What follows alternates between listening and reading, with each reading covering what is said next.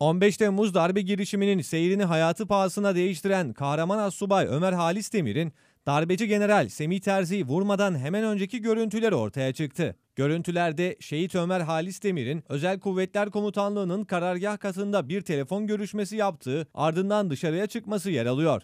Kısa bir süre sonra ise Halis Demir tarafından vurulan darbeci general Semih Terzi'nin yaralı halde darbeci askerler tarafından karargah katına taşındığı ve daha sonra ise hastaneye götürülmesi için Terzi'nin tekrar dışarı taşınması yer alıyor.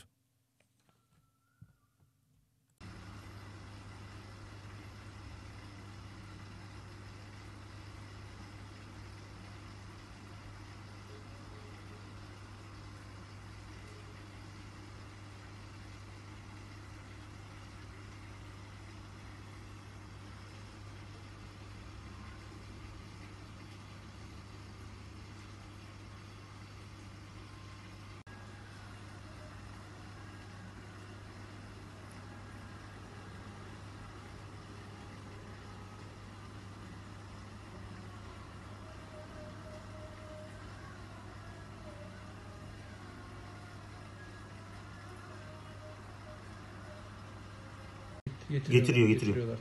Tamam mı? Olur mu?